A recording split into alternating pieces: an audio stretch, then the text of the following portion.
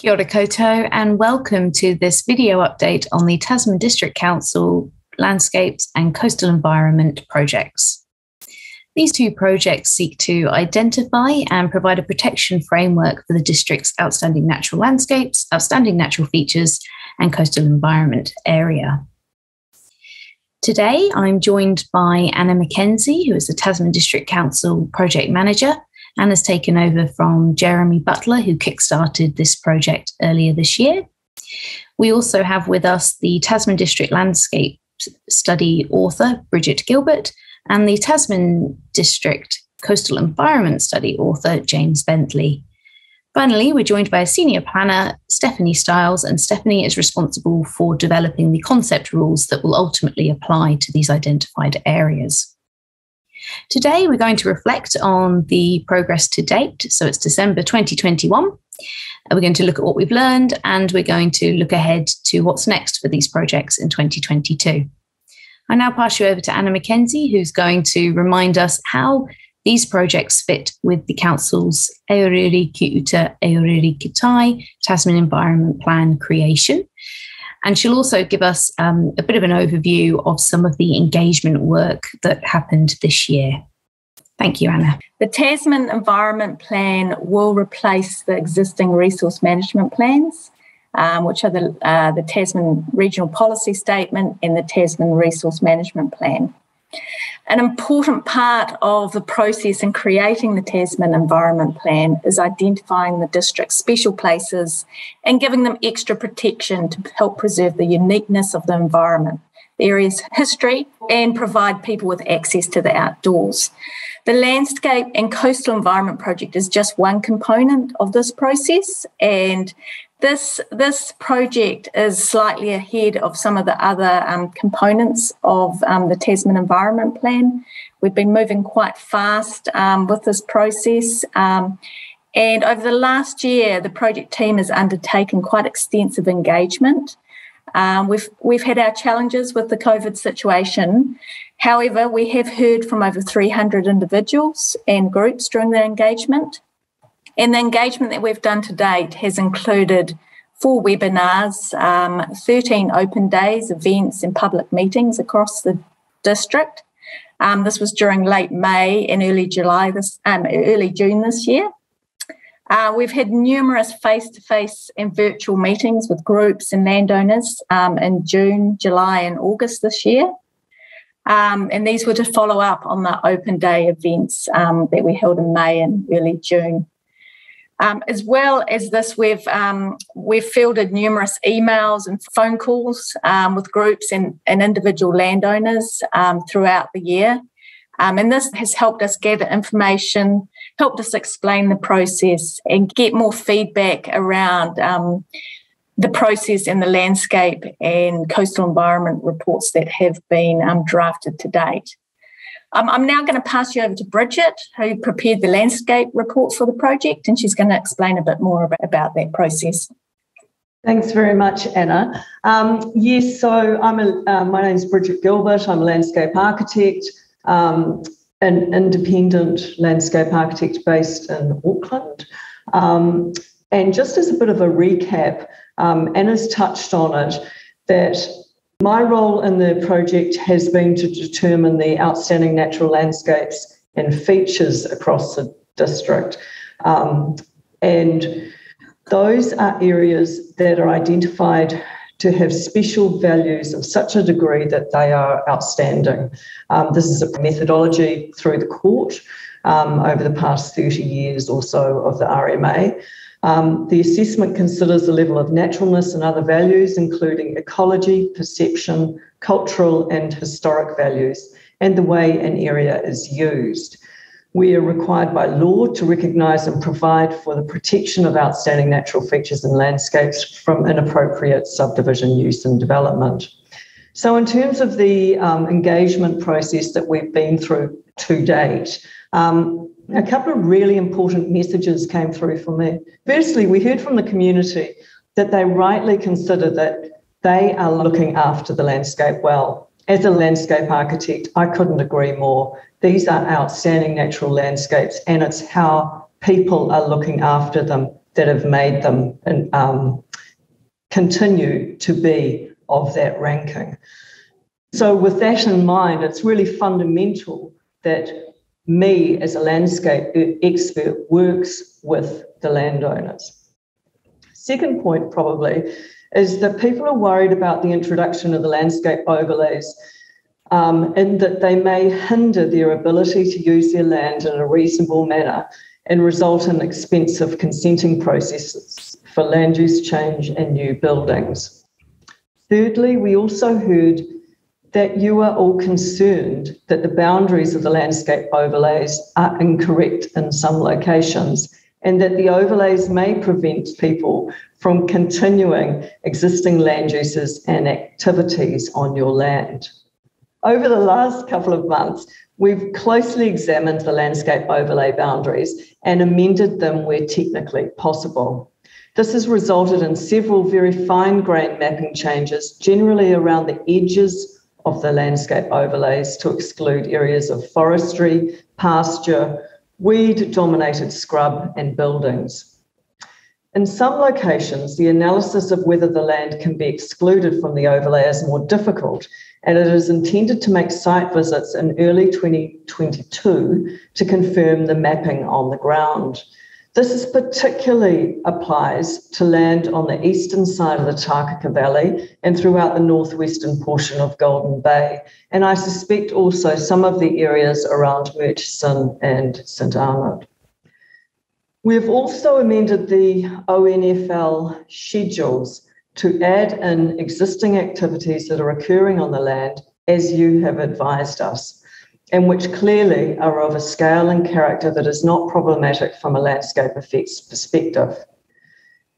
People have told us that they want simple and meaningful rules that enable appropriate development.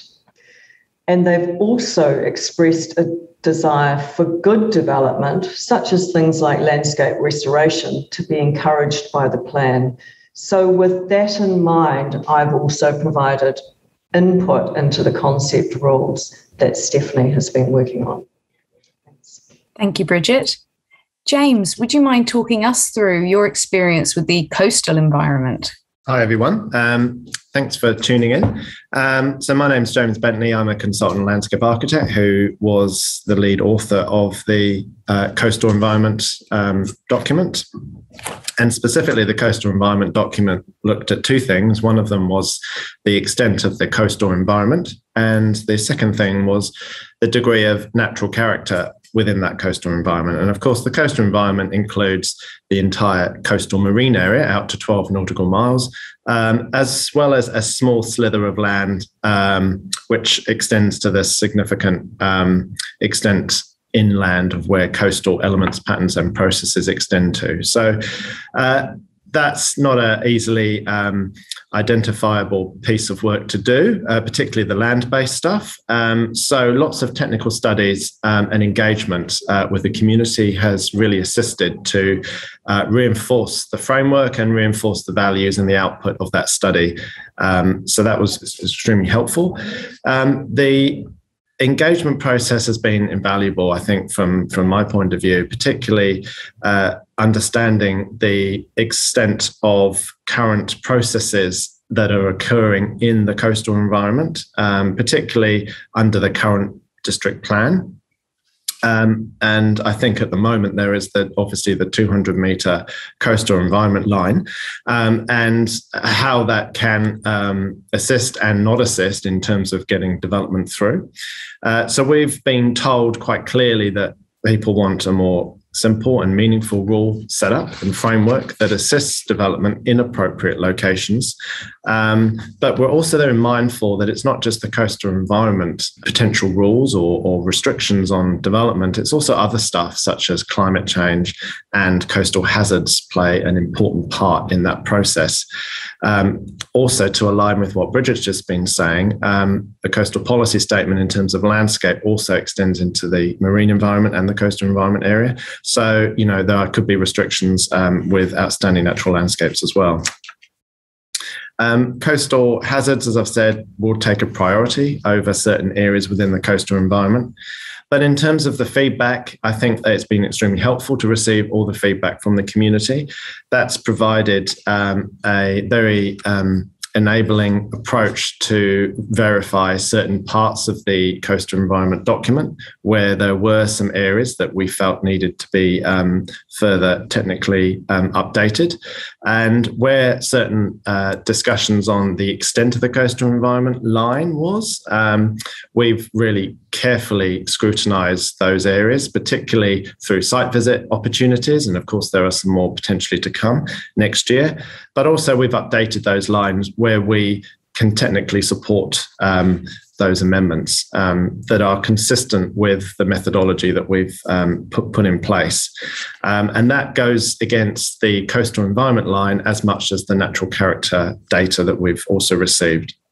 Um, so, and, and, what we've been doing since those engagement processes is is updating the study, updating the lines, very much similar to what Bridget's been doing, updating the schedules. So there's some depth behind how those lines were determined, and also in some areas reinforcing the methodology so it's more clearer more concise around an understanding how we got to certain conclusions.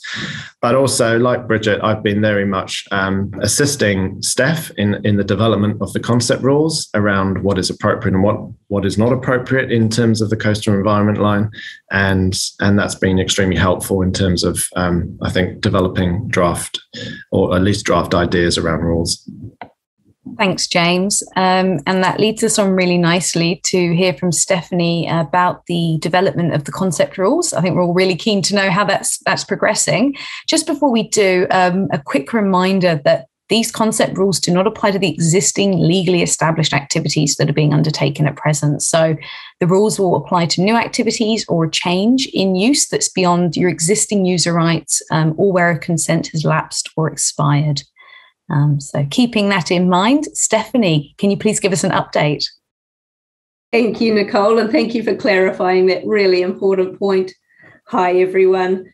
Um, some of you will have met me. I'm the consultant planner working with the team on this project. And I guess you could say my challenge here is to translate and interpret what we've got in terms of the technical reports from James and Bridget and those identification of areas and values into a planning framework, including objectives and policies for protection and management of the land, but also the rules which will apply to these areas. And it's it's been a wonderful process working through with the landowners. We we met a lot of landowners, land managers, stakeholders out in the community, and really got to talk about what people are doing on the land now and what their aspirations for the future are it's very clear that people have a lot of ideas and aspirations for what they want to do on their properties and really need flexibility around what the rules will apply to and, and the ability to change land use over time.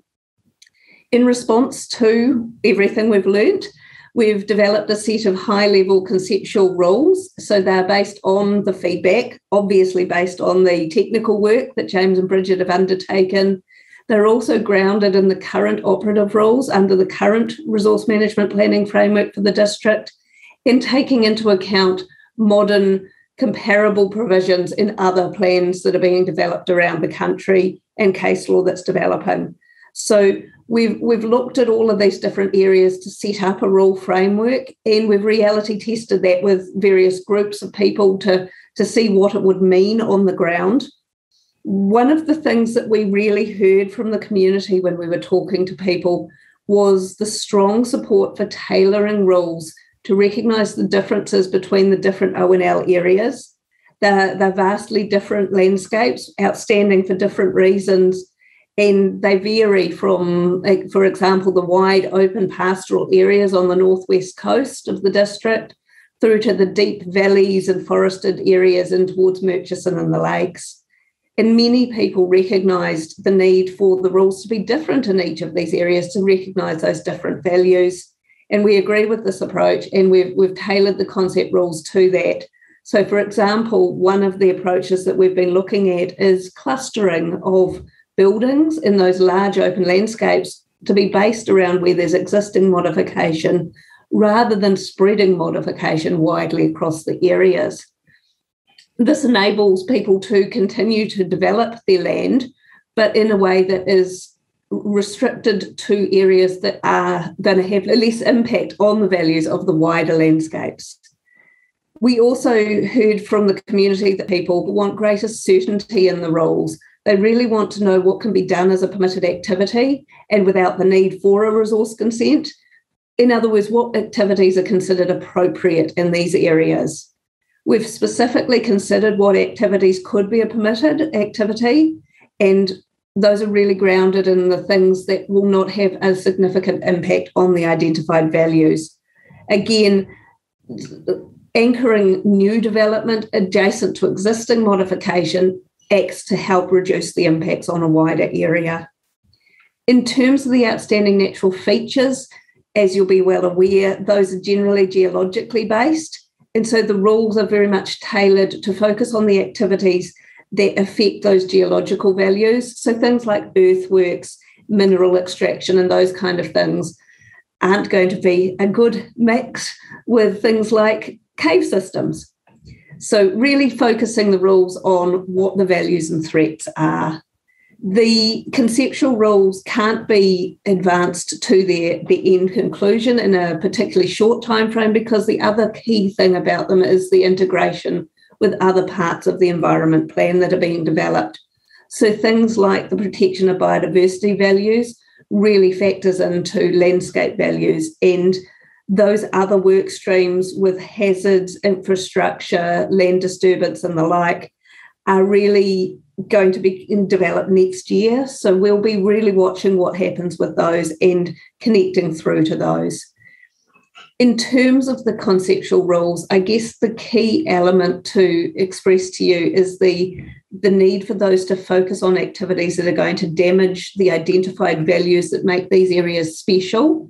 So it's it's large scale changes, really prominent buildings, um, really big changes to land use, and where there's uncertainty in what the effect an activity might have on those landscape values, what we are trying to develop is provisions where rules allow a discussion around whether a proposal is the right thing in the right place or if it can be changed or conditioned so that it can be able to fit the site or the values of that surrounding landscape. And that's the, the challenge we're continuing to work towards. Thank you, Stephanie. So we're now going to move over to a quick fire question round um, so that we can hear from you all um, about some of your highlights, some of the challenges, um, and where to next with this project. So the first question is really what's been the highlight of this engagement? Um, and this could be from working with landowners, you've been working with iwi, you've been working with stakeholders, um, you've been getting out and about across the district. I'll go to you first, Stephanie. What's been the highlight? Thanks, Nicole. Yeah as you said, it's, it's meeting people, it's working with all of those interested parties and really understanding more about what people are doing on the land now and what the aspirations for the future are. Great. And Anna? Uh, getting to know the district in more detail and visiting the district's special places and meeting the people that live in those special places has been a real highlight for me. James? Thanks, uh, Nicole. I think possibly um, this is one of the most engaged um, group of people that um, I've been fortunate to uh, be with in the country around the coastal environment. Um, understanding the passion around where you live and work in the coastal environment and how that affects your life. So that's been really valuable to understand further about that. Great. And Bridget? Thanks, Nicole. Um, yes, I guess for me, the highlight has been meeting all the um, wonderful people who own these, um, own and manage these um, magnificent landscapes throughout Tasman and uh, getting a better idea of the challenges that you're all facing in that landscape management. So, yeah. Thank you. And that leads us on nicely to our second question, um, which is around what's been the most challenging aspect um, of these projects so far? Um, to date. So I'll change our order slightly um, and go straight to you first, Anna. Um, as a project manager, um, how have you found um, the, the, project management to date?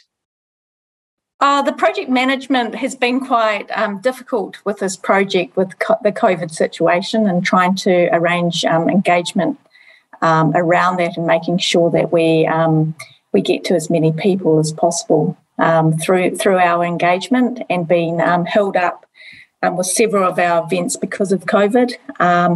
the other challenge is the huge volume of responses and feedback we've had from the community and trying to respond to that as as as quickly as we're able to. Um, it's been, as um, James indicated, it's been a really engaged community, and we've had a lot of feedback. Um, so managing managing all that f- feedback and ensuring that um, that we're all across that feedback has been a, a challenge. Yeah, I know COVID has um, impacted timelines somewhat. Um, Bridget, can you speak any more to that? Look, I think it's just building on that. I'm based in Tamaki Makaurau, Auckland. So I had hoped by this stage in the project to have visited many of the um, landowners' properties and look closely on the ground at whether we've got the ONL lines correct, whether we're um, we need to amend things in the ONL schedules and ONF schedules, um, and just work through that on a, a more one on one um, process. Um, but you know, with luck, we're going to be doing that shortly in the new year. Yeah, and we were really fortunate to be able to get out um, in in a bit of a window, really, of opportunity mm-hmm. um, earlier this year and, and, do some of that on the ground um, engagement and, and, have those conversations. James, what's been the what's uh, been the most challenging thing for you?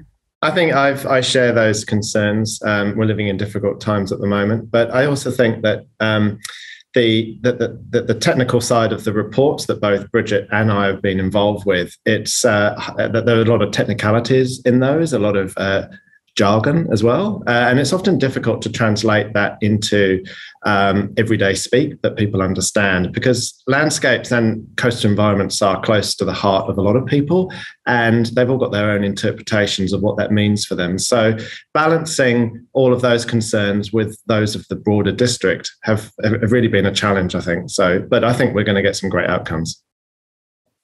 and Stephanie, for, for me, beyond all of those challenges that the others have articulated, the, the real challenge was trying to start a process of integrating and balancing the requirements of the legislation and the council's role for providing protection to these really special areas with enabling people to go about their, their day-to-day lives to keep operating their properties the way they do and, and to look at what kind of appropriate uses can be continued and changed on private land in the future while still protecting special values.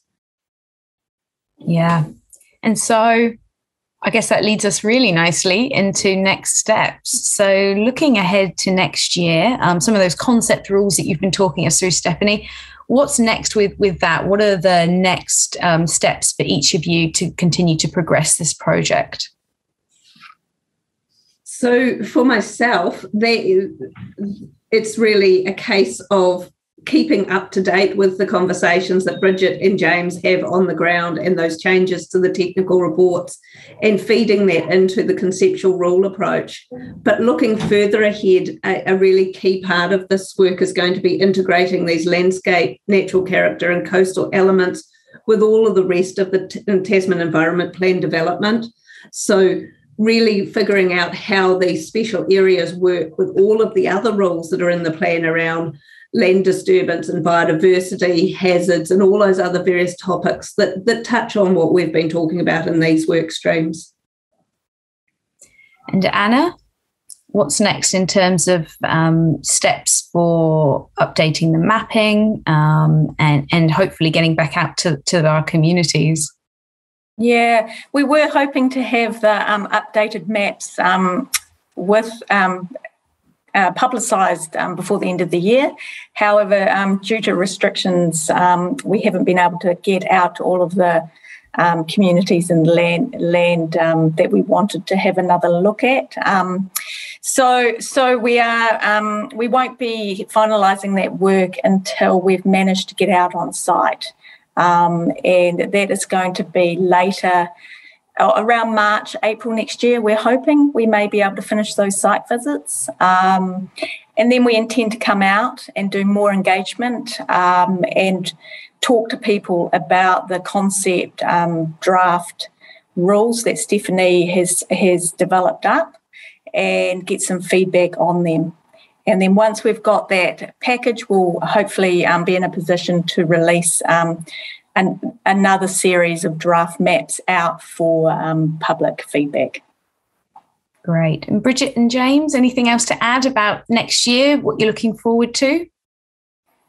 From my, my perspective, it's really getting out into the field again and having um, having a good cl- good close look at things and talking it through with the landowners um, on a one-on-one basis. Yeah, I, I agree. Um, it's just finalising finalising all this good work that we've been doing um, and um, moving forward into the next stages of the plan. Thank you. Well, that wraps up um, this December 2021 update um, on the landscapes and coastal environment projects.